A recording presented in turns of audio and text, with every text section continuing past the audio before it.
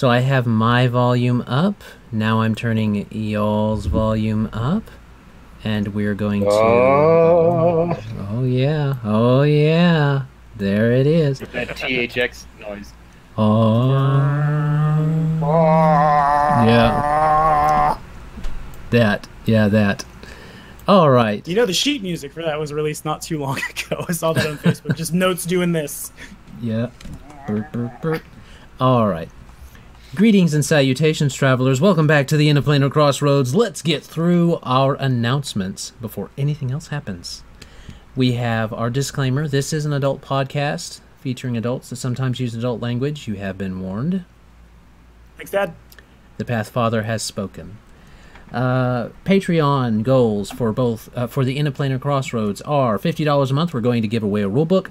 Once we hit hundred dollars a month, we're going to give away a book we have on order, which is the special edition of the Pathfinder 2e playtest rulebook. Uh, so that will be cool. Also, eh, we can't mention Patreon without also mentioning Black Dragon Gaming, who is running their Patreon right now. They've got a couple things going on. If they hit uh, like a hundred more dollars, I think it is a month, they're going to run not just one group but two groups through uh, the new Pathfinder Second Edition playtest module.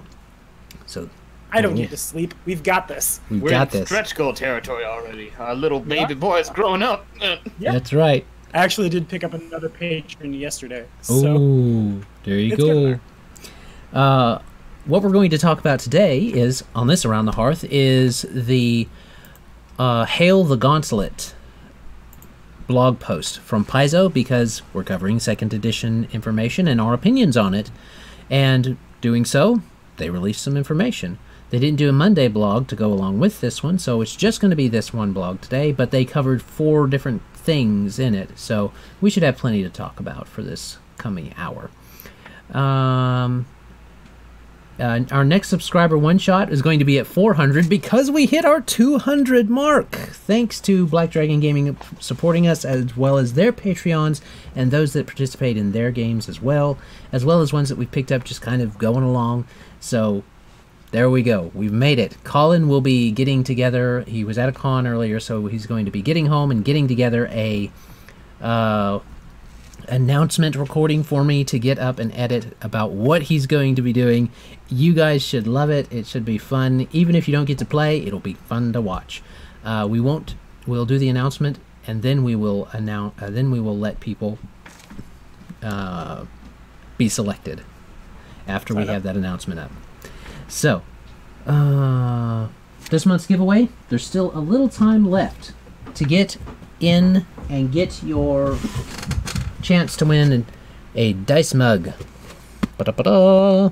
D20 dice mug.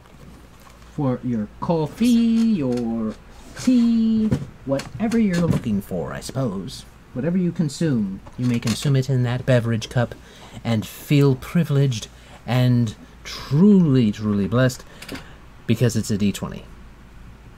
I don't know. I don't know. for the naturally successful. There you go. Um, we're not going to announce anything else right now. Uh, when it gets to probably June, uh, first or second week in June, I'm going to put to, put together and put out a announcement on what we're going to be planning to do for our uh, Pathfinder playtest stuff and how to be involved in that. Uh, but other than that, I don't have any more announcements. And oh, I had the five minute mark right on. Let's go ahead and get started. Uh, I believe everyone has the oh the blog post up. Correct? We we know what we're going to be talking about. Uh, so we'll Yes, kind sir. of we'll kind of take it as the blog post takes it. So fighters, the the fighter class has been previewed before, and uh, this one's by Lo- Luis Loza, and he wrote a little bit more about it, and it definitely has some stuff going on. Um, so Tommy's probably got the most experience of reading this one because he had to, he already made a video on it. But Tommy, we'll let you go ahead and start, and, and there's only three, there's only four of us total, so we can kind of pop in with our thoughts as we need to. I think. for sure. Well, the fighter, like, it really seems like the second edition fighter is going to be the class to play in second edition, at least in the playtest, because it's getting a lot of stuff that it needed to function, and they're borrowing a lot, like borrowing from third party in and of the fact that, and Kane's gonna cringe here, but the fighter is getting stances a la Path of War in second edition. They, does it say that they're getting stances? They're getting stances, Stances. Okay, because it, Yep. it does it does definitely seem like they're they've they've done a lot of work to kind of set them up like like a like a Street Fighter style scenario where they can just sort of power into combos where they set up this move which leads into this move which leads into this move. Hmm. Um, I like with- it. Yeah, well, because they, they mentioned I do I do like it. Uh, they mentioned specifically in the blog post being able to set up like some sort of intimidating strike, which leads into shatter defenses, which leads into another move. I'm not sure what, but Combat grab, you grab them with your free hand and stab them with your sword. ooh, Right. seems real good. But it's like if you played Pathfinder First Edition specifically, if you played Path of War, you know that the stances, or even like in 3.5, the Tome of Battle with the Sword Sage Crusader, I think was one of them. And it- I just played the Sword Sage. I don't really remember. the point is, they're really powerful, and this will bring the fighter up onto the same level, if not higher, than a lot of the classes. Like the one stance we've seen so far is you activate it as an open, I believe is what they called it. Right. Yeah, you activate it's an open ability, and you have your shield raised for the duration of the fight. You don't have to spend that one action to do this thing. It's just there, which is really, really powerful because that frees up all three of your actions to bludgeon someone to death. yeah, but that's a good And you- stance. Oh yeah, for sure. And you imagine there will be like stances that give you like bonuses to hit and things with your offhand. Like basically for every niche of the fighter, like the two-handed dude will have a thing, the archer fighter will probably have something, etc., etc. And like Kane was saying, the Street Fighter aspect of it does feel really good to me because like in combat in a tabletop game, it's really easy to just kind of all right, I'm gonna smack that dude. Do I hit that dude? Okay, here's some damage at that dude. Okay, I'm done. With this, you're actively like you are participating all the time. You have to think about what's going on, so you're sequencing these moves, which is a really interesting take. I've never seen that before in an RPG. And it keeps you like on not your turn, you're sequencing one, two, three together, or like as the situation moves, you have to move three to two or two to like four turns from now, or whatever that happens to be. And I definitely like I can sign off on that for sure because it keeps people attentive to the game and it keeps like it keeps combat fun and not just like I'm gonna hit you. Yeah, not just me. like a back and forth throwing dice at each other competition. Yeah, for sure. And I like on that note, I also really like that it, it adds a certain uh, theatric element to martial combat that I feel doesn't necessarily exist in one edition, at least not in the same way. Uh, Yeah. Because one of the big separating factors between martials and um, magic casters is the ability to assign debuffs. There are ways for martials to do it, but if they want to do it reliably, they usually have to focus into it really hard if they want to do it reliably or, or with any sort of variety. Because obviously, in martial builds in first edition, you have like your enforcers, you know, your enforcer builds that uh, non lethal damage people into almost permanent shaking conditions. And then you have your like stacking multi round debuff builds. But if you want. If you want to make a character that does that sort of thing, that's the only thing that character does well. Yeah. Um, in, yeah, that is accurate. To add, uh, uh, first edition was with the debuffs that martial classes get, you have to invest on average two or more feats just to be efficient at that or to do it very very well which is nice to have it change on the fly as uh, need be as fighters just like z Paladin can change uh, their uh, bond uh, bonus that they get based upon what they're fighting so that's nice Well, that is really cool. with the with sticking with the fighters for just a second when we when we talk about stances and stuff i think didn't 4e do something similar to stances uh kane Yeah, with some of the classes, with some of your striker classes, um, actually no, that's incorrect. It was mostly like your your controllers or uh, some of your defender characters. So that would be like your fighters, your summoners, your shamans, uh, people who were designed to manipulate the battlefield so that people could only go certain places, or um, if they wanted to move the way that they wanted to move, they took penalties and yada yada yada. Yeah, I I like stances. I like the idea of stances. I like uh, the open hand, the, the ability to use that secondary hand. If you're like if you're sacrificing not using a shield, you have an option now that is not going to be like, well, why aren't you using a shield? Well, because I'm focusing more right now on having that extra hand to be able to do an open hand ability of some kind. Um, and I I like that. I like the shielded strike type thing where you can you can keep that shield up if you're if you're building that way. You can keep it up and you don't have to worry about it. It's not going to influence your actions and stuff like that. Something that I'm up and down on is the division between actions that you're seeing with the fighter. You got to watch if it's a fan attack, if it's a press, or if it's a press, or if it's an open. And I feel like with that, as well as the flexible feats that they start to get, you're getting a, a mini brawler, is what you're getting. That's what these feel like to me. Uh, second E fighters feel like brawlers, uh, like miniature version of them that is uh, kind of bite sized. However, it concerns me a little bit because used to fighters were the class that you would say, "Oh, you're new. What do you want to play?" They say, "I don't know what I want to play." Well, why don't you play a fighter till you get the hang of it? Now, fighters are going to be doing a lot more. They're going to be they're going to need to think about a lot more. So, I think every I think everybody's going to be kind of simple at the front, easy to play at the front, and as you go up, it's going to get more and more complicated, which is only to be expected.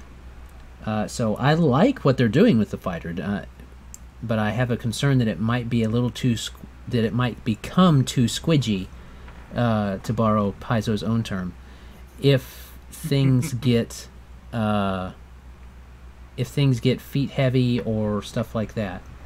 Um, Well, I mean, you could almost make a similar argument for the the first edition Pathfinder fighter.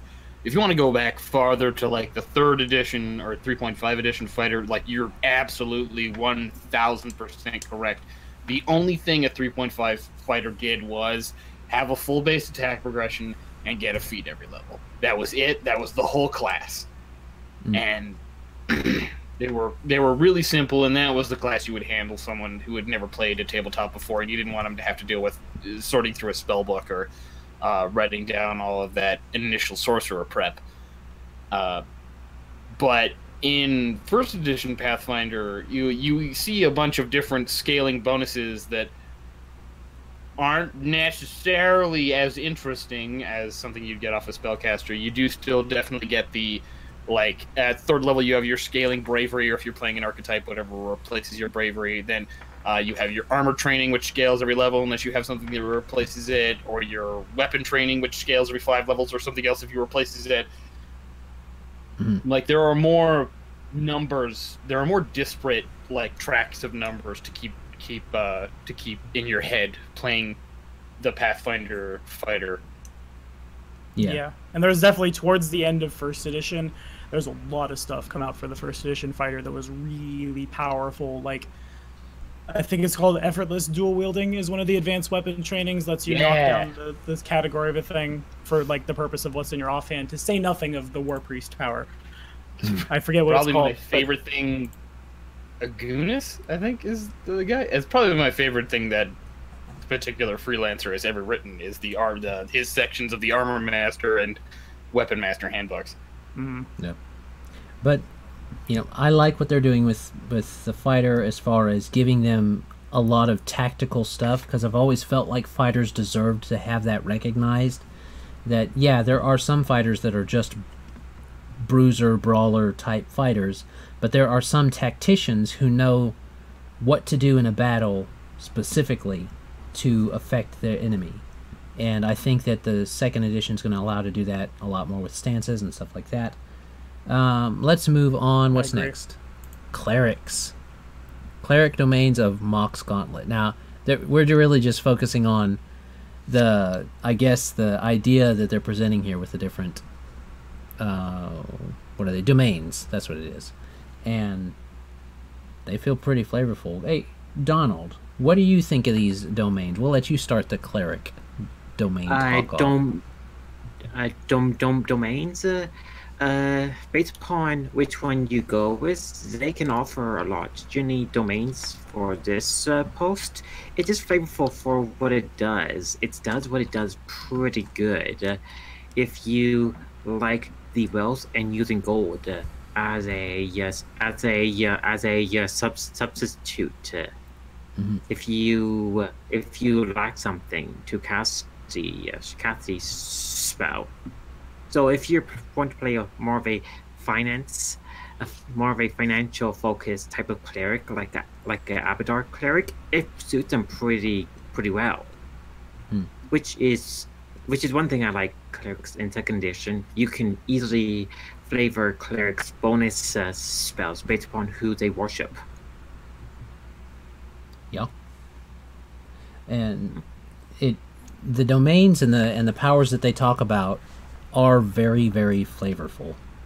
Um, it seems like they're putting a lot more like domains will be a lot more important in second edition than they were in first edition as at least how they felt in first edition there were clearly better domains than others in first edition, and there will probably clear, be clearly better domains in second edition. That's just how the nature of things are, depending on your your setup of the game that you're playing.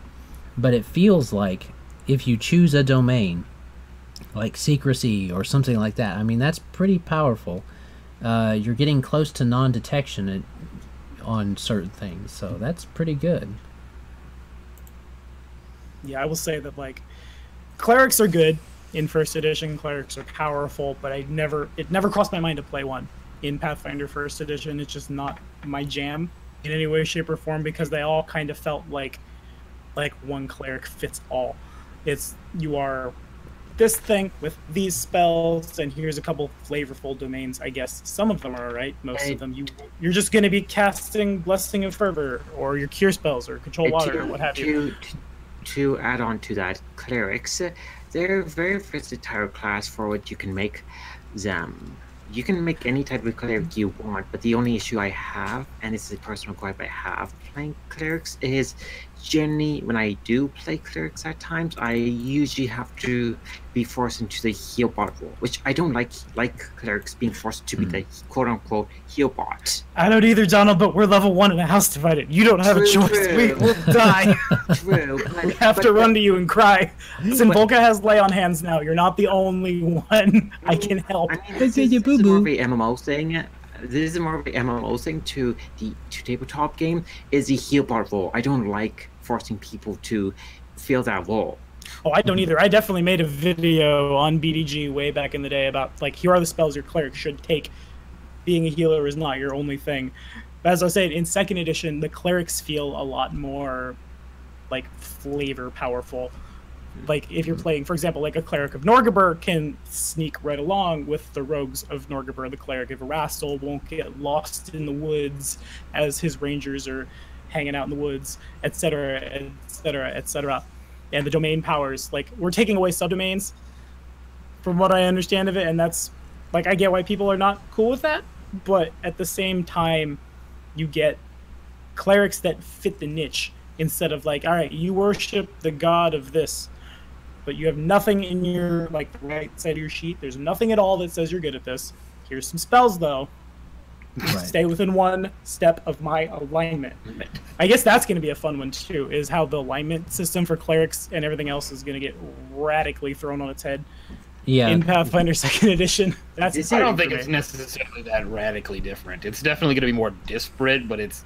I don't. Is people love to argue about alignment because oh, it's Oh, they do. like it's subjective morality, and no one agrees on what subjective morality means because it's subjective morality. It's in the title.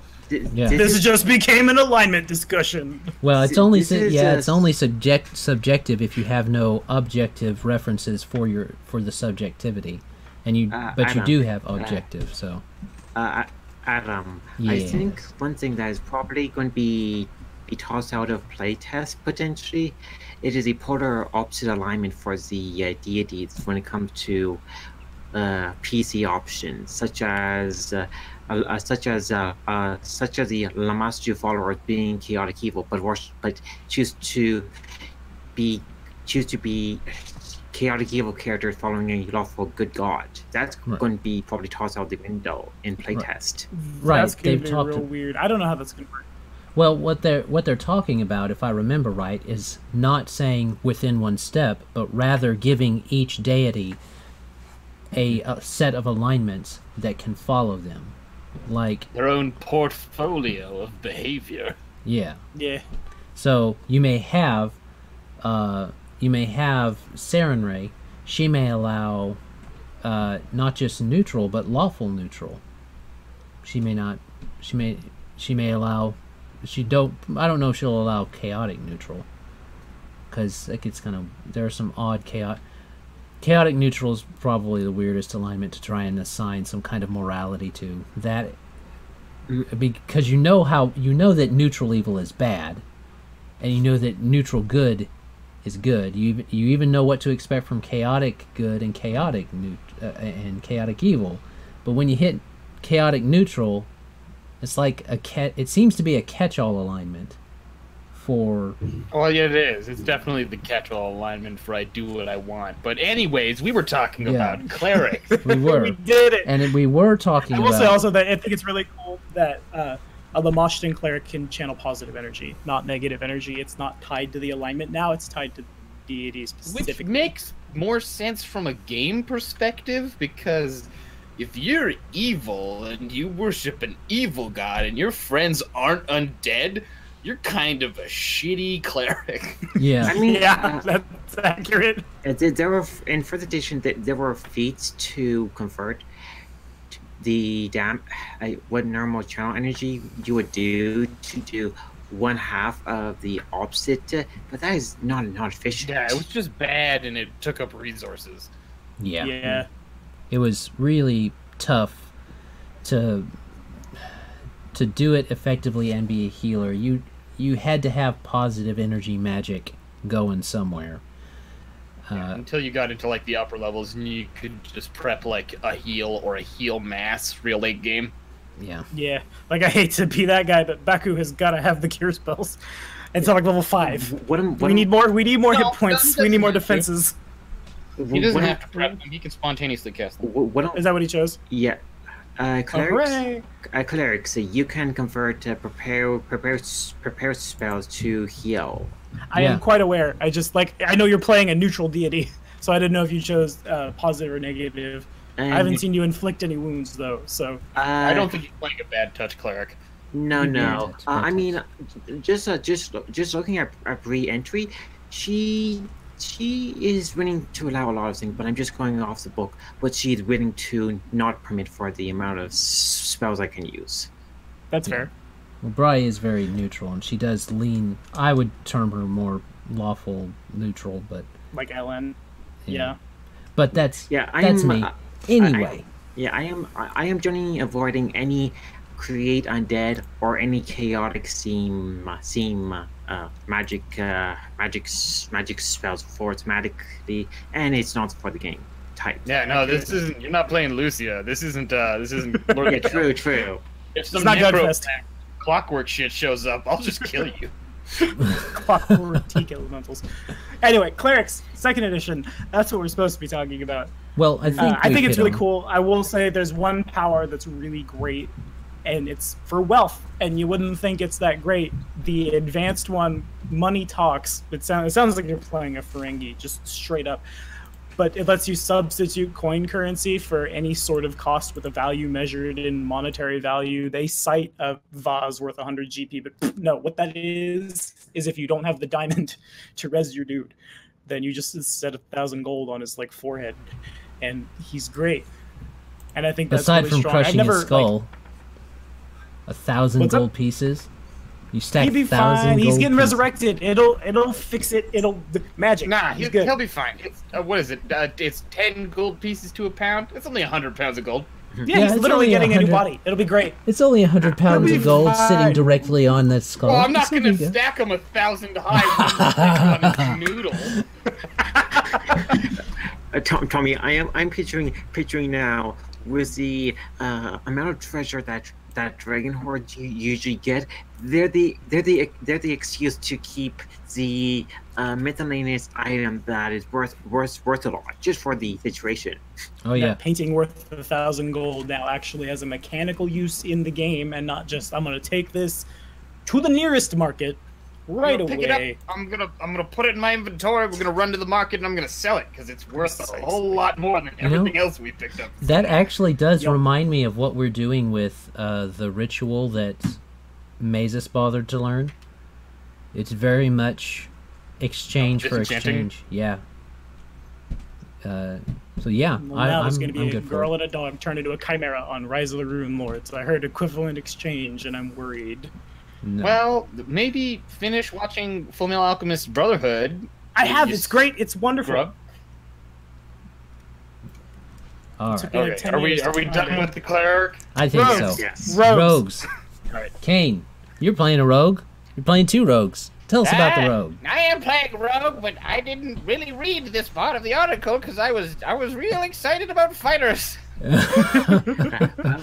Uh, I I I I also like uh, playing rogues as well. Rogues are Uh, a lot of fun. I do like some of the stuff they have here going on. Um, Dirtling with the action economy. Uh, I feel like that's something rogues should be doing anyways. Like, even if they're taking penalties, um, I feel like rogues should be uh, disturbing the rhythm that is inherent in combat because that that is advantageous to them. Is to uh, keep their opponents off beat, so to speak. Uh, because the more off balance your opponents are, the more your normally three quarter base attack bonus, but it- it's we're doing the proficiency thing now in second edition. Mhm. Um, the better chance you're going to have as a non traditional combatant to gain an advantage. yeah. Yeah. The, Um, with the uh, rogues, uh, uh, bas- with the good thing I, like about them, how how they are they are made. As long as you use the feats uh, properly, you can make any type of rogue that, that that you want within reason to actually affect uh, combat a bit. Especially if you multi-class into a magic user, class to get some of the very useful level one buffs and de- de- de- de- debuffs. Yeah, like an or like an arcane trickster vibe or something like that. I um, Pogue is actually the first feinting rogue I've ever seen. Same. I will say that in second edition, I didn't realize this until Adam was one of them. But there was a couple people on my on my second edition roundup video that commented, and they said that the rogue is getting a lot of the stuff that the ninja had Yeah. in first edition. Now I Which played a ninja. Good And- because the base ninja is just better than the base rogue. Yeah. That is correct. It's also like I always felt that uh, the ninja was really, and the same with the samurai. They were just really forced. The classes aren't. Well, the ninja was good, but like, this should have been just an archetype. It should have just Oh been yeah, like some no, extra they were stuff that they definitely just like a like a here's the Oriental equivalent of the rogue and the cavalier. Enjoy. Ta-da. Yeah. pretty much. And it's the same way with the fighter and the brawler. I feel like doing this. It's the same with the rogue and the ninja. And I guess to like Yeah. To jump the gun a little, the summoner and the wizard in and of the fact that every day your familiar has a pool of things that you can customize. We're not there to yet, make it do Tommy. You want. We're not And- there yet. I know I'm jumping the gun a little, but it, it's relevant to this. I like that. I like having my choices in Pathfinder. I like that, like I can build whatever the hell I want to do whatever the hell I want. But if I can do that with a smaller pool, but still have that same like mutability, then Yeah. so much the better. Because it's like that's why I like a Gestalt game, because I want to have my Eidolon plus my like Paladin stuff, I can do so. But now like I guess like I have actually though it was very illegal because you can't do it. I have played against the Rogue Ninja before, but that's an alternate class. You can't do it. But I did it, and it was sweet. But now you don't have to because literally it's just the one class that's getting a lot of really really powerful stuff. Like they can turn so invisible that true seeing, see invisibility, glitter dust, fairy fire can't pick them up. They can. They get essentially tremor sense slash scent in of they Well, can that's pick just up that's stuff. just hide in plain sight, my dude. Yeah, yeah, real good hide in plain sight. I do Wow. also like the like the ability to abuse the action economy, getting that like you can take a neg one penalty, which is not even a penalty. That's just minus one to take a five foot step and attack in one action, and then have two more to again.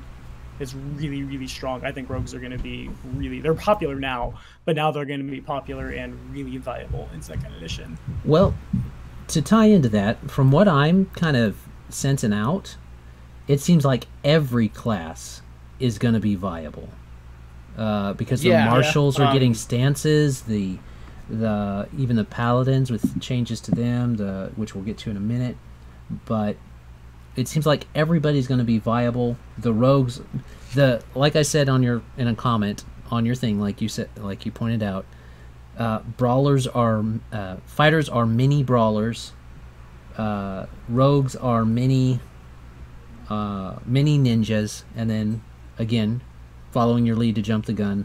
Familiars are mini eidolons, uh, but the rogue's good, and I I've always liked the idea of getting to play a rogue, but have never played one specifically. And they've got power powerful disablers now. They got traps Oh, being optional, which is odd for a for the theme of a rogue, but it is also not odd when you consider that not all rogues want to be trap finders. Because you Yeah, I mean, if you were playing like a cat burglar who did like second story work or something, why does he need to know how to disable a guillotine trap? That's ridiculous. Yeah, Yeah. for sure. Matter of fact, I think most of the archetypes, like most of the rogue archetypes in first edition, would retrain like, da- not danger sense, but like uh, trap sense. I think is the name of it, Hmm. or like anything to redo or to deal with traps. Like I think scouts mess with it, burglars. That's weird. Yeah. Not burglars, bandits. Excuse me. Knife Oh, yeah, masters, bandits I get think rid mess of with it. them. But- Uh, Kane, it- this is uh, this is coming from a person who actually like uh, playing rogues. Just a single dip into fighter, or playing a class that get proficiency with uh, with any type of martial weapon that you get to do dex damage and use dex to hit. That is that's a great bonus for a rogue to have, uh, especially when it comes to second edition. If they multi-class into fighter a bit. Yeah, I I had will say- considered multi-classing into fighter with Magpie. I had actually, if um, my backup for Magpie was to just take him straight fighter, um, far enough to get the the advanced weapon training that lets you finesse an entire weapon group, uh, and then I was gonna finesse like some big stupid weapon and and uh, uh, uh, prestige into Shadow Dancer, anyways. Seems good. My favorite uh, finesse uh, weapon it would be the Elven Curve uh, blade, just So for the strong. just for the damage and crit range. Isn't it an exotic weapon though? It's an Yes, exotic it's a weapon. racial. yeah. yes. Uh, Um, i- i- if if well, I'm not an elf. If, if bird. you if, if El- you Tankers get it too. They got sword trained. if, Oh if, yeah, no, you're right. That's why I have the S stock. if you ever play a Tengu elf or any any race that, that get to use that weapon without needing to multi-class or take a feat, it's a it's, it's, a great investment. We're gonna all get my that effort characters and almost lace soon. I'm We'll gonna just be like grab that like heirloom weapon too. pre-errata. I'm playing an orc in Rise of the Runelords who uses an elven curve blade because it's, it's that's how good they are. But on topic, I really like how second edition is like the weapons are automatically dexterity instead of strength if it is more in or with the advantageous for weapon you to do so. qualities, the and it finesse traits and qualifies. Yeah, you can't like you can't finesse the great axe, but if it has the finesse trait, it's already there. You aren't taxed to do so, yeah. which is like that's a huge. not It's a relief, nice I guess, compromise. but I really like it because that's why I house rule it in all my games. If your weapon is finessable and it would be more advantageous for you to do so, you have it. There's no tax whatsoever. And I feel like that's definitely that's a uh, an example of the the company listening to the community be like, hey, everybody uses this rule that isn't in the books because their rule is better than our rule. Maybe we should make that rule our rule. Yeah. Yeah, So Um, but to use a really, just to like to backstep for a half second here, um, to use a really nerdy term, uh, it feels like they're kind of remorting on a bunch of the classes because they had all of this expansion they did. They put out in additional books, especially the hybrid classes. And now that they have another shot at doing the bases again, this is the opportunity they're taking to be like, hey, this class kind of is supposed to replace this class in first edition. So instead, we're just going to take those two and just push them together. Take the best of Yeah, every. Of they did say in in in the very first like oh no direction blog where Erik Mona and I can't think of the other guy's name when they Alexander were on no direction. And uh, uh, That one, uh, yes. Two He others that- whose name is escaped me at the moment. Well, one of the guys said that there were a lot of, especially the hybrid classes, that like could have and should have been archetypes. In my personal opinion, I think like the war priest could have been an archetype. The investigator certainly could just be an alchemist archetype, or maybe like a rogue archetype. And if we can again just do this, it's more like you'll get a chance to actually play these things. And when you like as the years go on, and oh, now it's time to roll up another character. I have a lot of characters, and we all do, on like Mythweavers or Google Docs or oh, jammed in good lord, sheet- yes. Gathering Dust that we'll never play. But like, I really want to play a brawler. Now just play a fighter. Uh, Ryan Costello, uh, Jefferson J. Thacker. Uh, Well, yeah, those are the My- two main.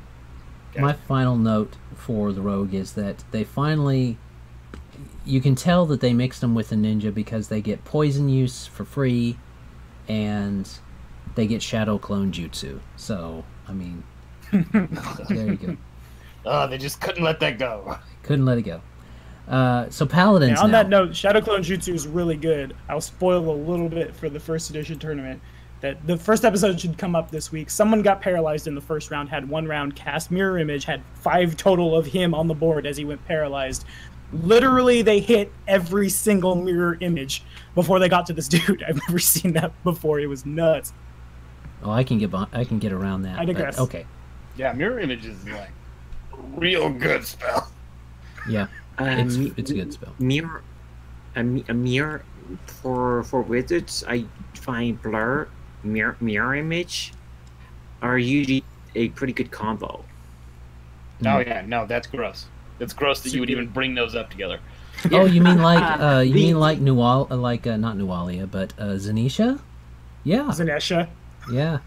We should have, yeah, no, we should have done what I don't know. I think it was Tommy brought it up, or it was one of the people in the Discord brought it up uh, that they had their paladin had gotten the permits to demolition that tower under They the just bridge. stone shape it. Yeah. Yeah, we should have just knocked that shit down like we had initially planned. Now, I hope Adam would have had a contingency in mind for that. As much as I'd have been really salty. If, nope, that doesn't work. Haha, Xanesha flies down and attacks you and kills your family. Haha. Damn it, there should have been a contingency for just like, All right, tag. fine. She flies down, and half the party deals with her, while the other half knocks the tower down on top of her.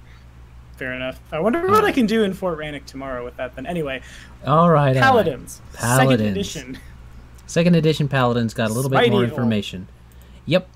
Um, so what I like, I've liked this about the Paladins since the first blog, is the fact that your allies are going to be, you know, you can invest in them a bit easier now to make them a lot more usable. You can get more than one, and you could get all three if you wanted to. If you wanted to be geared out by your god, um, you could have blade, shield, and mount as followers. And I think it's interesting that they're going with the flavor that it's not the weapon that is being enchanted or is being Im- uh, improved, or the shield or the mount.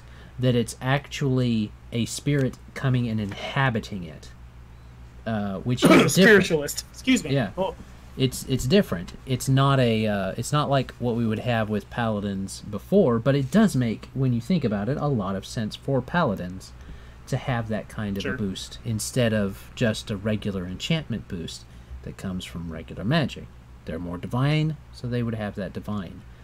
Um, they're getting a lot of variety, a lot of variety straight out the gate, which is nice. I think all the classes are actually getting that. I th- uh, one of the things we like best about Pathfinder 1e is that we get to build what we want to build for the most part. And uh, like we said pre stream, Pathfinder's slogan should be there's a feat for that. Because you can build almost anything uh, that you want to do. May not always be viable, but you can build it in Pathfinder. Um, at least as far as fantasy goes, you just reflavor it for non-fantasy. But there, the spirit variety is going to be good because you can, especially when you start to homebrew and flavor that. Maybe it's the same spirit that comes again and again. Uh, that's a good way to flavor not just that, but summons and stuff like that. And you're getting stacking buffs and debuffs. Uh, and it seems like almost every. I think, I think Pathfinder 2e GMs are going to have to be a bit on their game, because all of their players are going to have debuffs almost. It, it depends on what classes they play, but it looks like almost every class is going to have the ability to debuff in some way, or to buff in some way. So buffs and debuffs, there may be a game there that goes on in the meta, but it, it makes sense. It, it gives a lot of um, strength to every player. Every player, every PC has something they can contribute, regardless of what situation they're in. There's going to be something they can do, which is important. And I think that that's the, as far as the paladin goes. I like the paladins. Uh, it's my favorite class. I'm still a little concerned about how they're going to handle the naming of it, but anyway, that's that's how I feel about it. Um, what about you guys?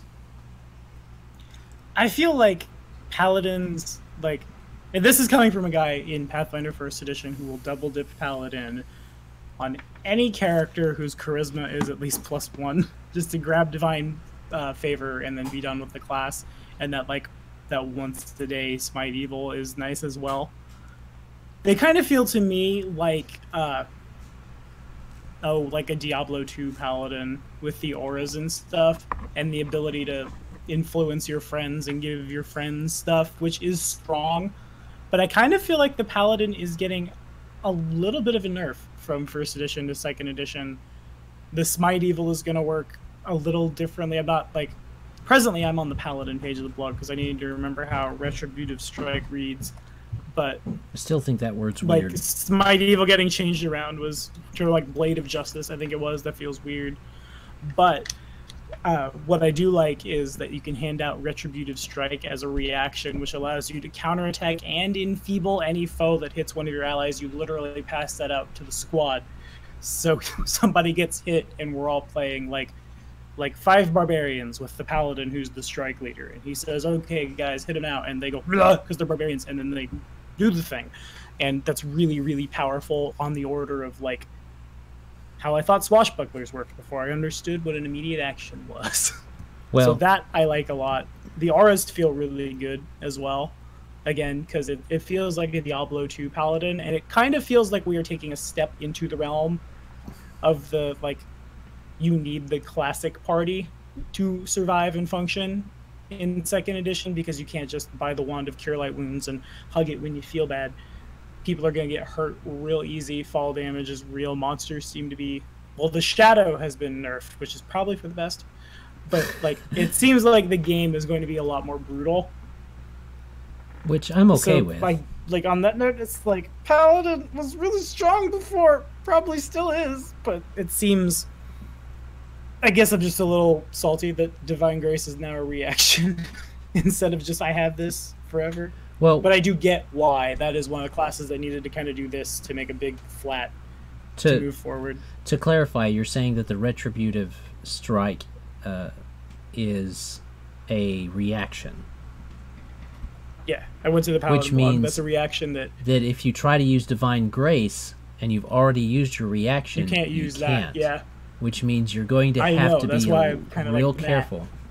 Um, uh, unless there's ways to get more reactions, which there probably I don't- be. I don't know if they're going to do the combat reflex thing or not. Um, it will be interesting to see because if they do, almost every class is going to need combat reflexes because you sure. want extra reflex. Uh, you want extra things to do in between. Because action economy is always going to be king, and if you can get more actions in the economy, there you go. Yeah. Any other opinions? No.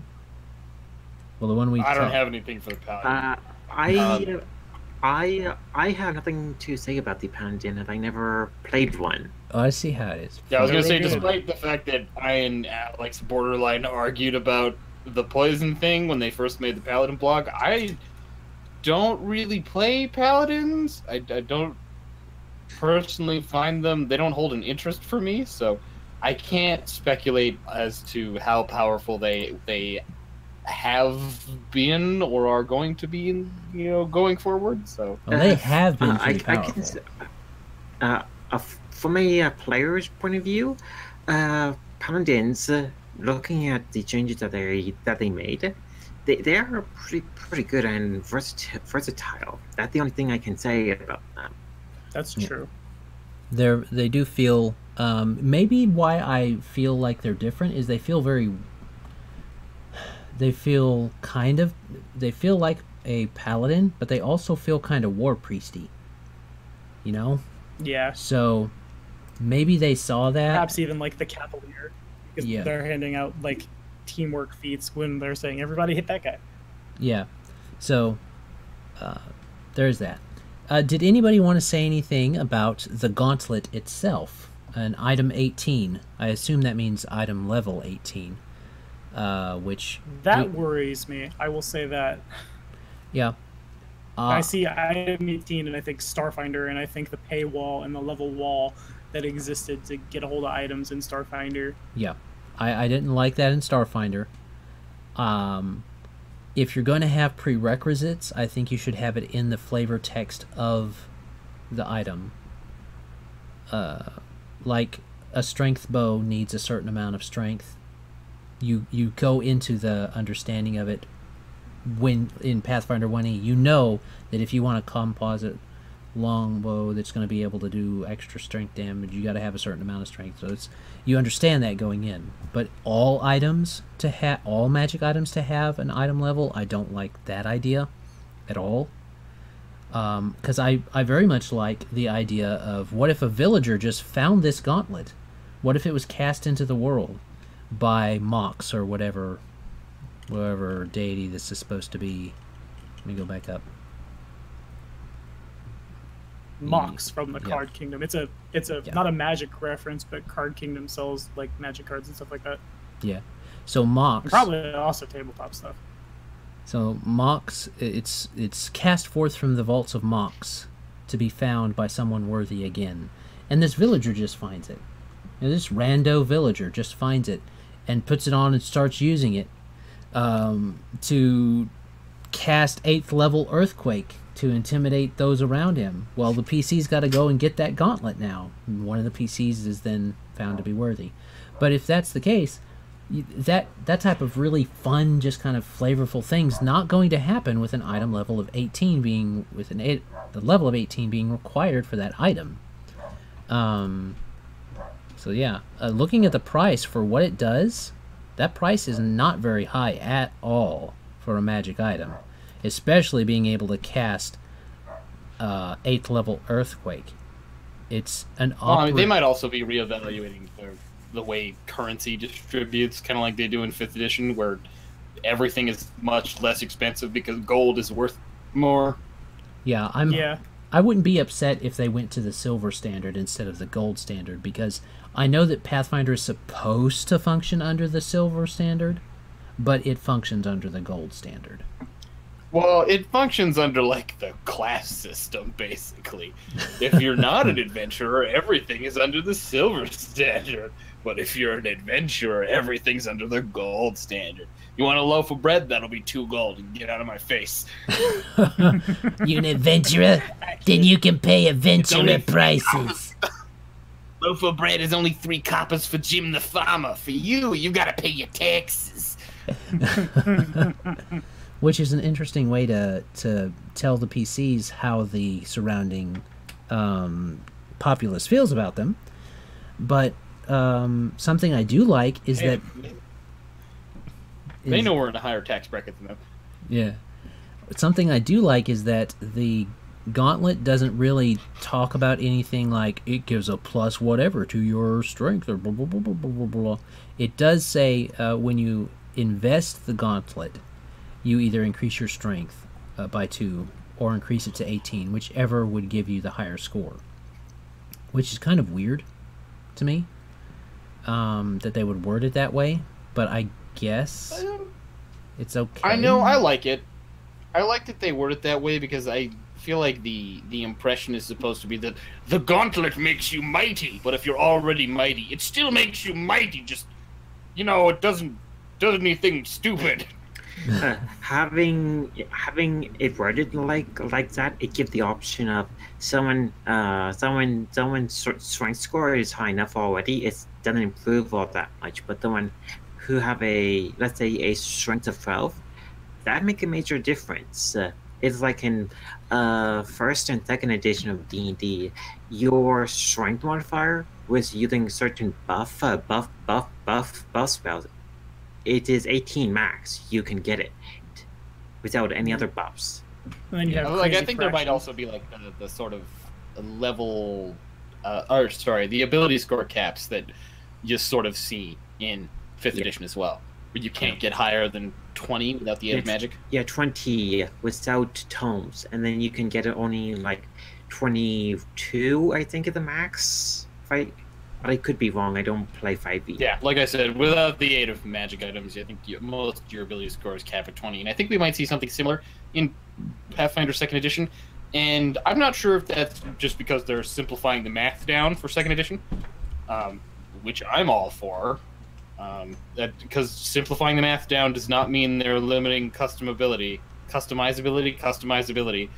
Just that, like, if the, that customizability is going to revolve more around abilities and conditions than it is going to revolve around here's your plus one which stacks with this plus one that you got from this other thing that cost this much money you know right.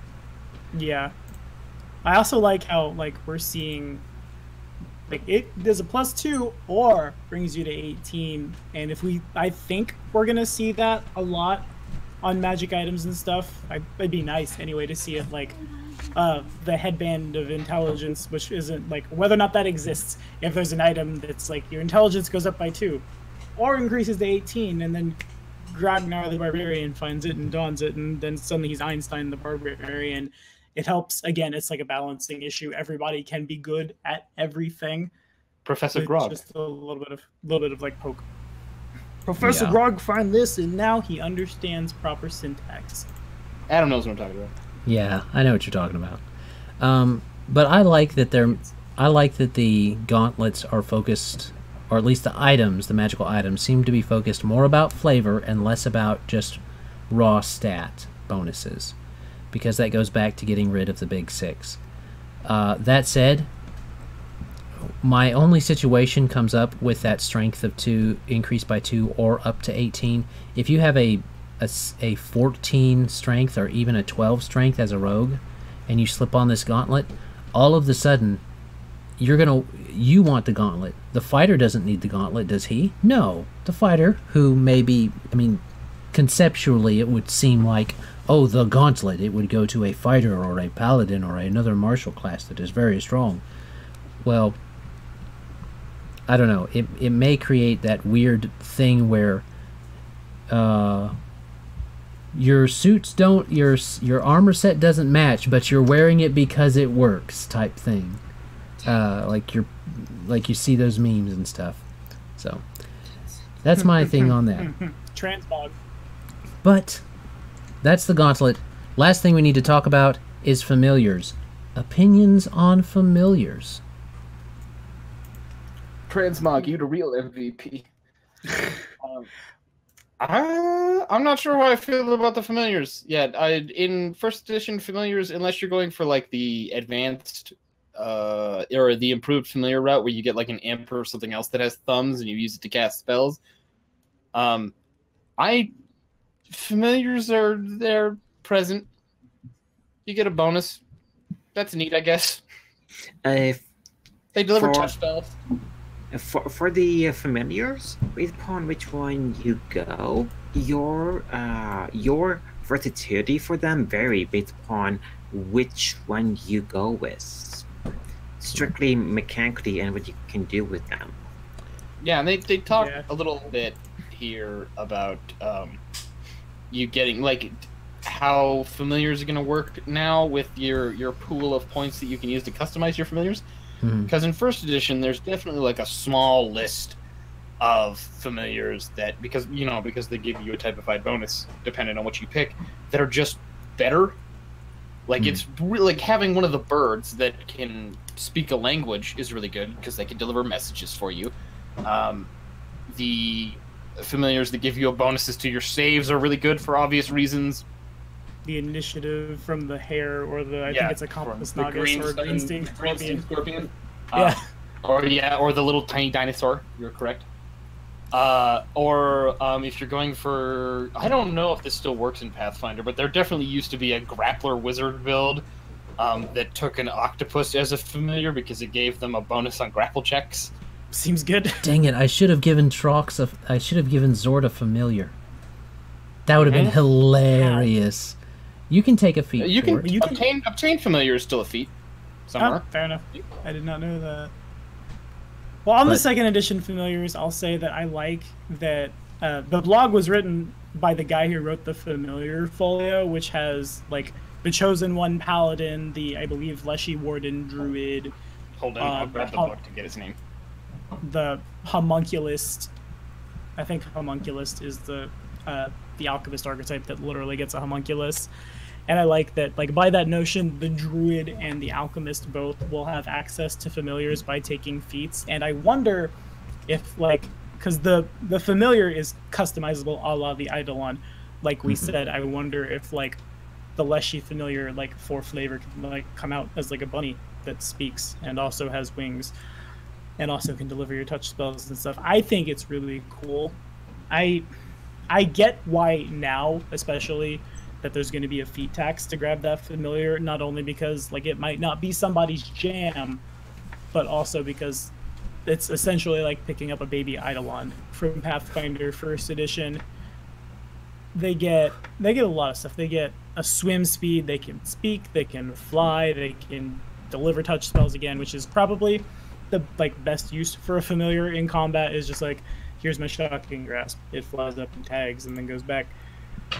I also like how they're using your AC instead of their own AC to calculate theirs. Of course, like for the gnome who can pick up a familiar with a feat no matter what he plays, and then you have gnome fighter with plate mail and a shield. How his pet monkey has a really high AC isn't like mentally translating both for me and someone who commented on my post.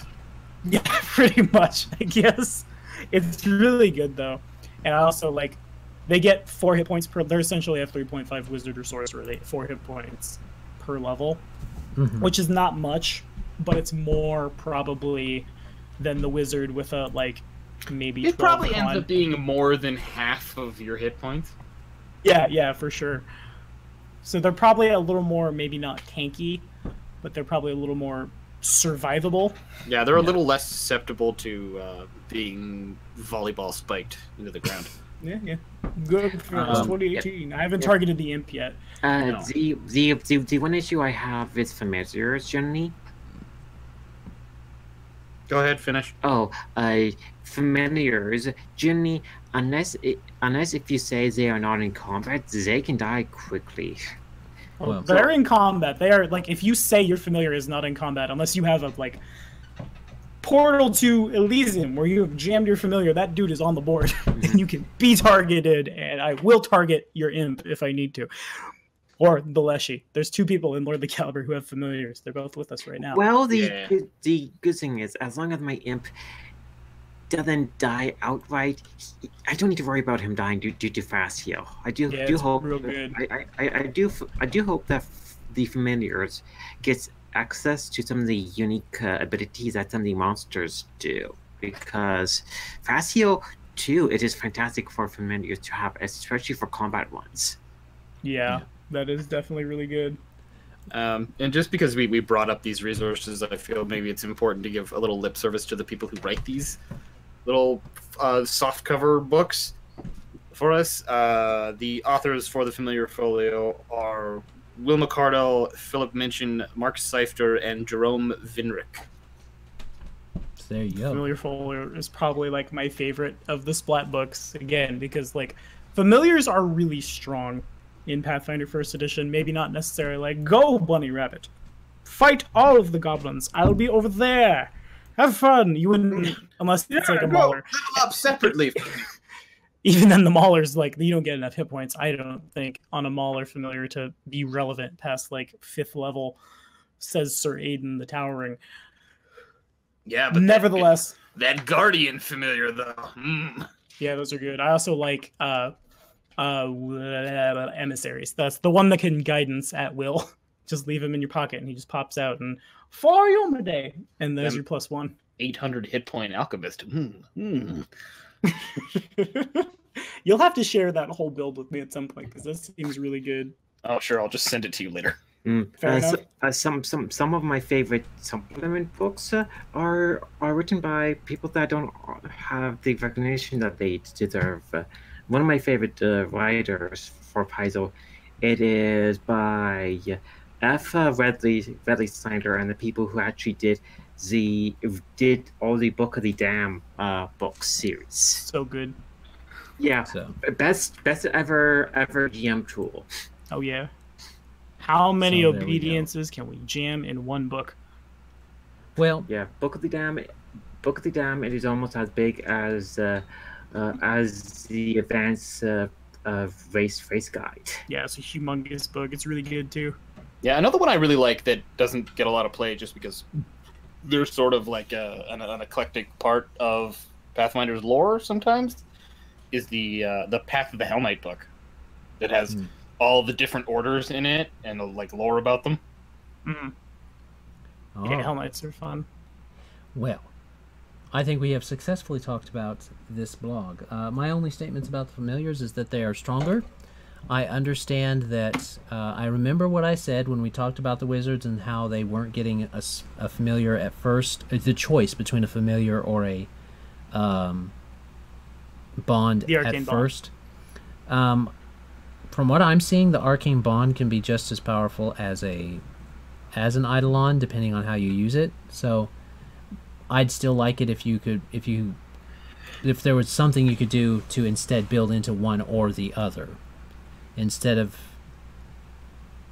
having to take the feat just for the familiar instead of you taking a feat to maybe improve the familiar if you wanted to and so on and so forth. Similar to what's done in the other in first edition but that's just me.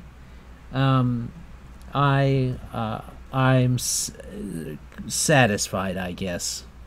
It will depend on how the playtest goes but i guess i'm satisfied with how they're going to work. But that said That's fair. I think we've talked about everything. So, any statements, questions, comments, observations before we sign off, guys? I got Uh. Give us more updates. What's wrong with you? Yeah, I've, I've- I've been refreshing the blog this whole uh, this whole conversation to see if they're gonna put something out today. Well, it's the end of their con, also Memorial Day, Yeah. so probably not. But oh, a man can hope. A man can make a smaller video about his own personal Pathfinder Second Edition predictions immediately after this. That's probably what's gonna happen. Uh, so so far, uh, second edition playtests look quite uh, uh, quite appealing appealing, appealing to uh, to, uh, to to actually play some of these uh, classes. yeah i'm very very like equally honored and excited to be able to like have the resources through the power of the internet to be able to host doomsday dawn on black dragon gaming it's also like i guess i'll commit to it here and now on the stream that it's going to be our debut on twitch as well because i need to like join the 21st century and learn how streaming works Well, But depends what you're be, like- streaming. but there you go. Depends what your Double loaded. connection's like. Yeah. Hmm.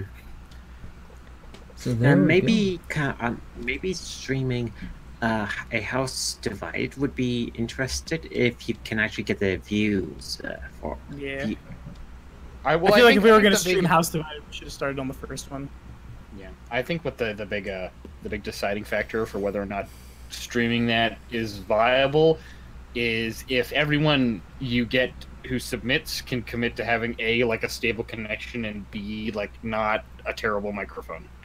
Yeah, yeah, fair enough. It does. de- It, it does have a lot to do with your. The success of it has a lot to do with the quality because you can't post edit the audio, which even we uh, kind of do. So Yeah, and we get lucky because we have two. Technically, we have two recordings going at the same time. Because there are certain episodes we would have just lost all the audio on otherwise. yeah. All right. So thank you everyone for stopping by. Thank you travelers for returning to the Inn of Planar Crossroads.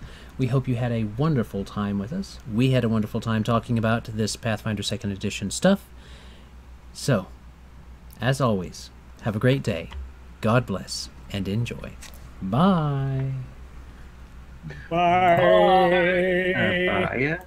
I heard the uh this time.